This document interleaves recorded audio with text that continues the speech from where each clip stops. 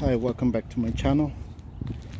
In this uh, video I'm going to show you how to patch up some holes that uh, were made because they heard some rats or mice. So they they as in me um, tore out some holes to see if I can find them but now I have to patch it up so I'm gonna show you how to patch these holes up heard something in the attic. I heard something in the attic. I've been a bunch of holes.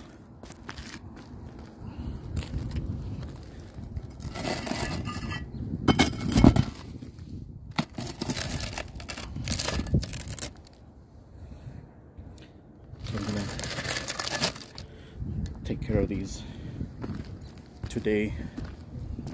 How to patch up those holes and, the, and ma match the roof color as much as possible. Thanks. So the first thing we're gonna do is uh, clear the area um, and then find